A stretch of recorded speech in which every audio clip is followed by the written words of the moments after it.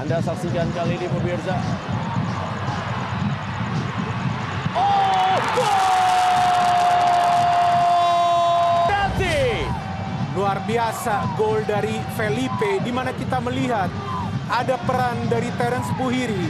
Terence Puhiri memberikan umpan kepada Leo Guntara. Leo Guntara mendapatkan bola di sektor wing, di sektor flank sebelah kiri. di Eko Jayanto kembali bola dikuasai lagi langsung saya dilambungan ke depan ada Vano Lilipali Vano Lilipali Vano Lilipali berikan kepada Felipe Felipe sukar dipercaya pemirsa Transisi yang dibangun oleh Kei Hirose. Kei Hirose memberikan bola kepada Vano Lilipali. Vano Lilipali yang merupakan raja asis bagi Borneo FC dan juga di Liga 1 sejauh ini musim ini memberikan killer pass atau umpan yang manja bagi Felipe dan kali ini memberikan bola. Baik sekali Adam Alis melihat bagaimana Vano bergerak.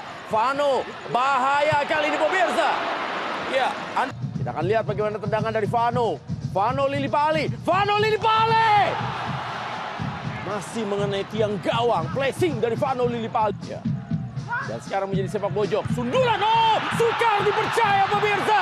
Kita lihat lagi pelayanan dari Lili Pali yang luar biasa. Kali ini dari sepak pojok Lili Pali mengangkat bola, bola melengkung, bola mendekati kepada Felipe. Felipe melompat tinggi, itu dia. Ini kepada Vano masih Vano Vano Vano ya chip yang dilakukan oleh Vano Kanavi. Kanavi. Oh ini dia peluang dari dan oh masih mengenai Mister Gawang pemirsa. Baik sekali pemirsa. Dan lagi-lagi. Ah, Sihran, Sihran, Sihran. Dan sekarang kembali Vano Lilipale. Vano Lilipale. Tuh, masih Flavio, Flavio, Flavio. Dan oh sundulan. Dan gol. Oh sukar dipercaya kembali pemirsa. Memang bukan